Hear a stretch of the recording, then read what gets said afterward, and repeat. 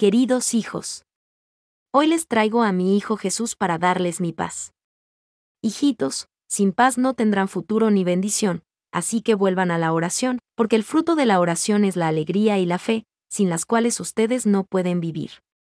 Les traemos la bendición de hoy y la llevamos a vuestras familias para enriquecer a todos aquellos que ustedes conozcan, para que sientan esta gracia que han recibido. Gracias por haber respondido a mi llamada.